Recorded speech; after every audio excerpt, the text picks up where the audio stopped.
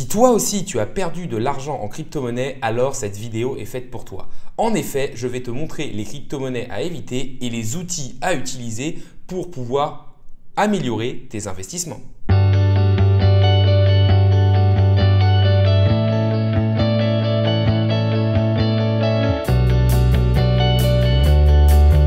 Salut à tous, c'est Inspecteur Crypto, bienvenue dans la vidéo du jour où on va regarder les crypto-monnaies qui font perdre de l'argent aux investisseurs.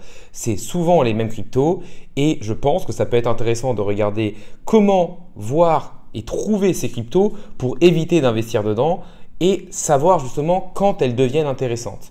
Pour moi, il y a deux types de crypto-monnaies qui font perdre les investisseurs. C'est un, soit celles qui sont des arnaques ou alors qui sont et qui mise sur des hypes, par exemple euh, acheter un shitcoin ou acheter un meme coin, là dans ce cadre-là, c'est juste que vous n'aurez pas fait vos propres recherches de votre côté et du coup vous serez fait avoir. Et le deuxième type de crypto-monnaie, c'est celle dont je vais vous parler dans cette vidéo. Donc n'hésitez pas à rester et à regarder cette vidéo. N'hésitez pas non plus à liker, à me dire en commentaire le type de vidéo que vous aimeriez bien pour la chaîne. N'hésitez pas non plus à vous abonner, ça récompense le travail que je fais au jour le jour et ça permet de faire grossir la communauté. Mais on va tout de suite rentrer dans le vif du sujet en parlant de ces crypto-monnaies qui vous font perdre de l'argent. Et pour trouver quelles sont ces crypto-monnaies-là, il faut pour moi tout simplement regarder la tokenomics.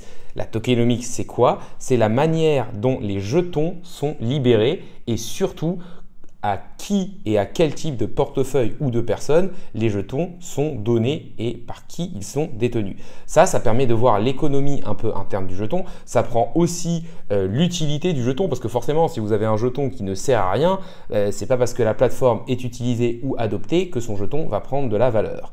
Donc, pour regarder la tokenomics, il y a un site pas mal qui s'appelle Token Unlocks. En fait, vous allez tout simplement voir les libérations de jetons euh, qui vont arriver tous les jours, toutes les semaines, tous les mois sur différents projets. Et là, c'est vrai qu'on remarque qu'il y a souvent les mêmes projets, moi qui y vais, qui y vais de temps en temps. C'est vrai qu'Optimism y est assez souvent, on a DYDX qui est assez souvent, et Sui. Alors pour moi, il faut se dire, ça va dépendre quel est le pourcentage de libération de jetons qui va être fait? Combien il en reste à faire et à qui ces jetons sont libérés. En effet, ça ne va pas faire la même chose. Par exemple, certains projets ont pour l'instant une circulating supply, c'est-à-dire un nombre de jetons en circulation très bas, par exemple un nombre de jetons de 5 ou 10%, mais pendant par exemple un an, il n'y a aucune libération. Et si c'est un nouveau projet qui a un peu de hype, vous pouvez pendant un an profiter de cette hausse et de la hype sur le projet, mais par contre, après, ça risque littéralement de se péter les dents. Pour moi, c'est un peu ce qu'il y a eu sur Celestia, c'est-à-dire que Celestia avait une grosse hype, il est sorti avec une valorisation assez haute et une très petite circulating supply. Au début, il n'y avait pas de libération de jetons, il y avait une vraie hype, donc des personnes ont réussi à faire des multiplicatifs 2 x 10. Et ensuite, on a vu un gros retracement qui a aussi été dû au fait que le Bitcoin retrace, mais aussi du fait qu'il y ait eu certaines libérations de jetons. Donc, donc en fait, ça, ça vous, ça vous permet de savoir quand timer à peu près l'entrée aussi en position.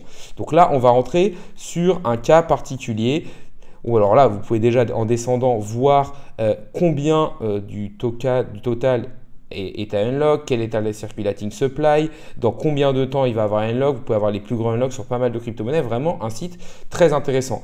Alors moi, je vous ai pris l'exemple de Sui. Sui, c'est un nouveau token, une blockchain Layer 1 qui a été faite par les... Euh, par des personnes qui, étaient, qui développaient Diem, donc la crypto-monnaie de Facebook, maintenant renommée Meta, et c'est quand même un des projets qui a eu une certaine hype. Alors on voit qu'il n'y a pas énormément de jetons qui sont déjà libérés. Et surtout, qu'est-ce qu'il faut regarder? C'est que par exemple, dans 3 jours, 8 heures, vous allez avoir une libération de 2,78% de la supply qui va correspondre à quand même 70 millions de dollars. C'est-à-dire qu'on va avoir une pression vendeuse ce jour-là de 70 millions de dollars. Donc si vous n'avez pas au moins 70 milliards d'achats de cette crypto, le prix va baisser. C'est euh, l'offre et la demande. Et surtout, si vous descendez plus bas, là, vous pouvez voir à qui les jetons sont, euh, qui détient les jetons et à qui les jetons vont être envoyés, mais surtout vous pouvez voir la libération.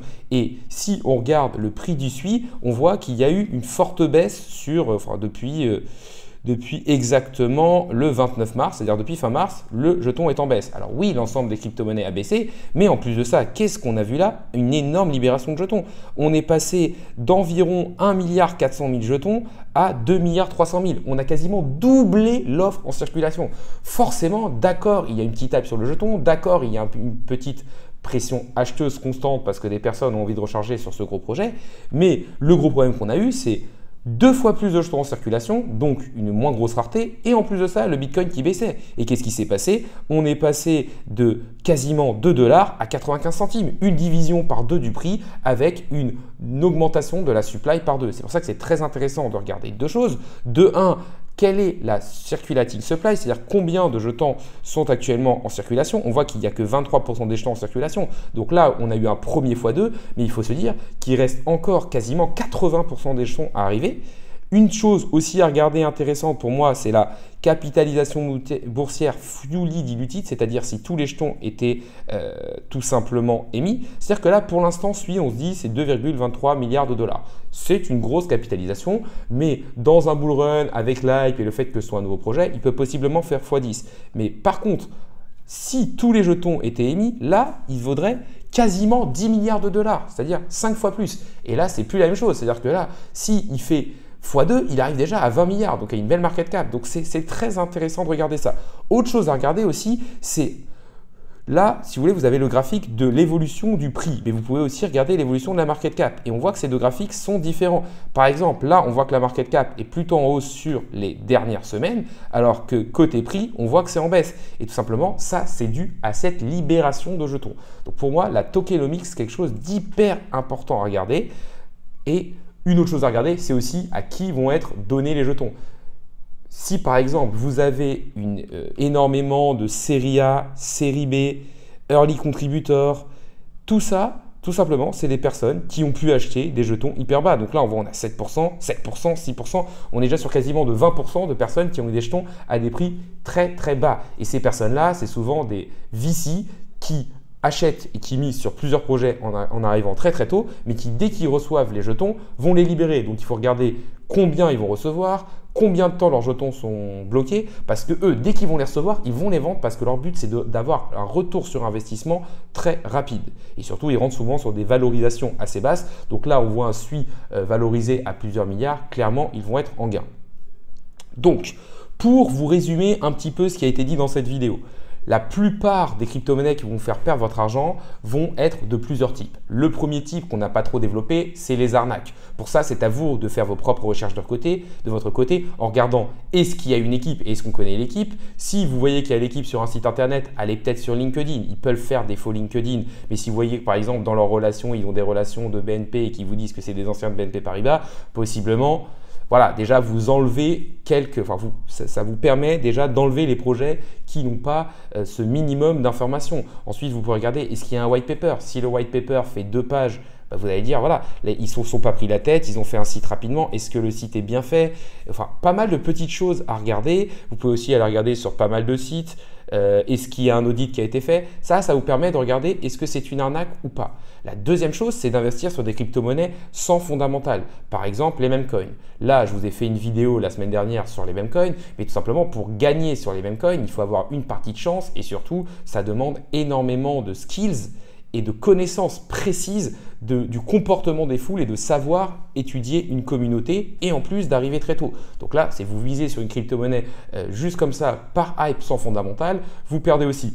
Et la troisième chose, c'est une crypto-monnaie qui va avoir une tokenomics affreuse, c'est-à-dire une crypto-monnaie énormément axée VC, c'est-à-dire des gros investisseurs qui sont arrivés très tôt et qui ont un prix d'achat très faible, qui vont recevoir au fur et à mesure leurs jetons et tout simplement les vendre aux petits particuliers qui lui se dira il y a la hype, j'ai devenir millionnaire. Mais en, mais en effet, quand on voit le cours de suie, on voit que avec cette libération de jetons, le cours a, été divisé par deux. Donc si vous aviez tout simplement été sur Token Unlocks et que vous étiez arrivé, vous auriez vu, ok, là, à la date du 1er mai, enfin 30 avril, 1er mai, il y a une libération de jetons de quasiment x2. Donc, je vais possiblement vendre avant, voir ce qui se passe. Et après, si vous trouvez que le projet est intéressant, vous pouvez racheter. Souvent, lors de ce genre de d'événements, il ne se passe même rien parce que c'est principal marché. Mais là, c'est vrai que euh, le fait de doubler la circulating supply, surtout à une période où les crypto-monnaies étaient plutôt en baisse, bah, ça a été, euh, ça a été, euh, ça a totalement tué le projet. En tout cas, vous avez,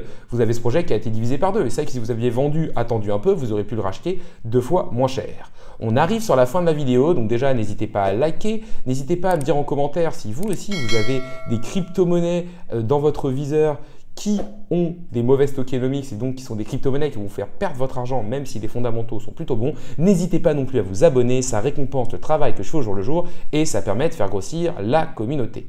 On arrive donc sur la fin de la vidéo, je peux vous résumer ça de manière simple.